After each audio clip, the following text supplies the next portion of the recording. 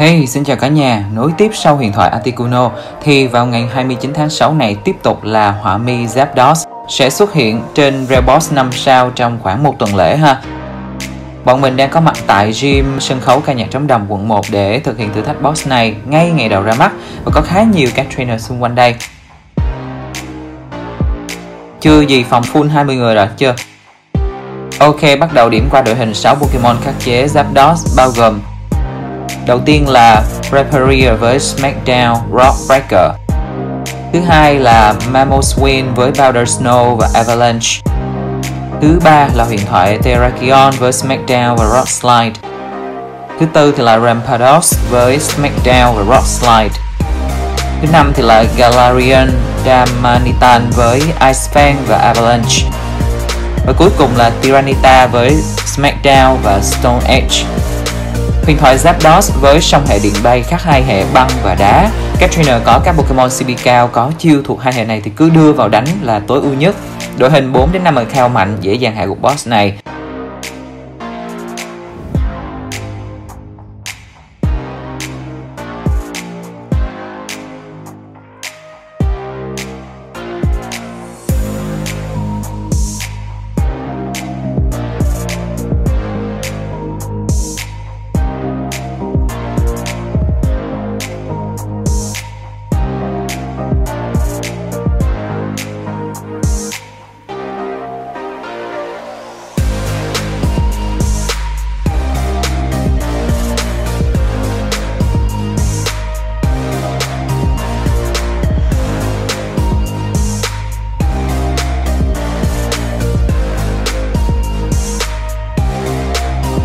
DOS với tạo hình của loài da cầm lớn được phủ lên bởi một bộ lông màu vàng. Nó có một đôi mắt nhỏ hình tam giác với màu đen viền xung quanh. Nó có một chiếc mỏ dài, mỏng, màu cam nhạt, trông giống như là của loài cò hay là sếu.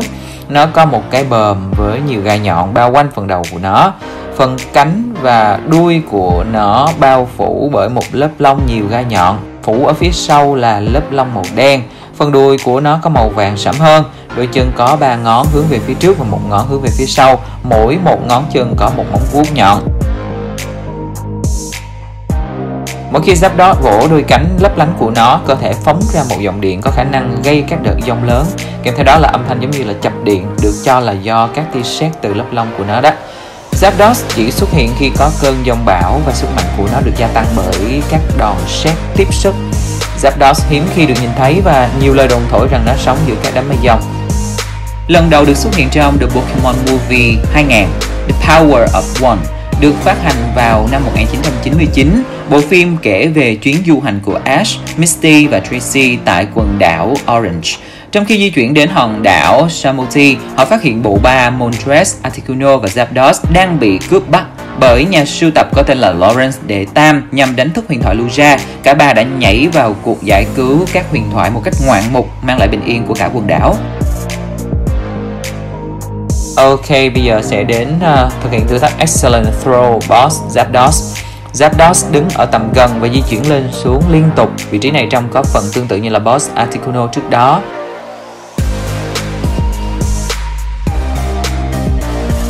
Đầu tiên là khóa vòng ném Excellent Zapdos trước vì nó đứng khá gần nên vòng tròn Excellent trong cũng to không kém. Các bạn co vòng tròn vừa đến cặp mắt của nó dừng là vừa. Tiếp đến là góc ném Zapdos, bọn mình sẽ có hai vòng tròn. Vòng tròn màu xanh là điểm mình xoay banh, bạn đặt điểm xoay chết qua trái một tí so với vị trí banh xuất hiện. Vòng tròn màu đỏ là điểm mình buông tay, canh điểm buông tay ngay chóp nhọn phần phía trên cánh của nó, ngay đây nè. Độ cao tương ứng khoảng sắp xỉ 60% chiều cao màn hình. Cường độ ném tương đối nhẹ vì boss đứng khá gần, cú ném mạnh tay dễ trượt lên phần chóp đầu của nó đó.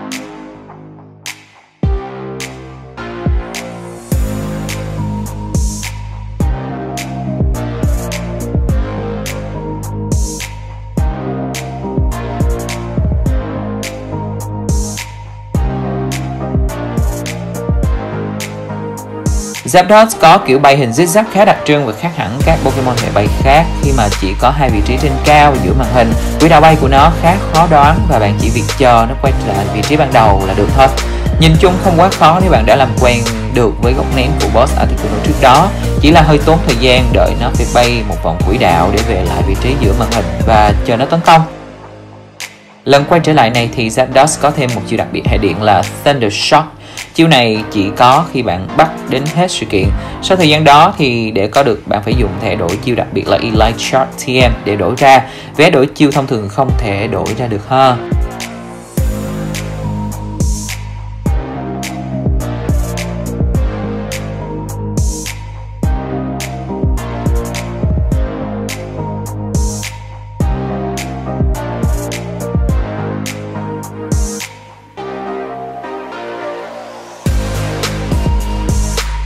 Ok, yes, thành công rồi phiên thoại đó đã có dạng shiny và nhìn tổng thể thì không có gì khác nhau cả ngoại trừ cặp chân của nó có màu cam đậm hơn Thời tiết tại khu vực thành phố Hồ Chí Minh mấy ngày nay mưa nhiều khá thích hợp để bắt Zapdos. Nhắc nhẹ IV100 không kèm thời tiết là 2015, có thời tiết mưa là 2519 nha cả nhà. Chúc các trainer sang được nhiều shiny IV cao. Cảm ơn đã xem video và đừng quên like cũng như là subscribe cho bọn mình. Có bất kỳ câu hỏi nào các bạn để lại dưới comment cho bọn mình biết nhé. Xin chào và hẹn gặp lại ở những video tiếp theo.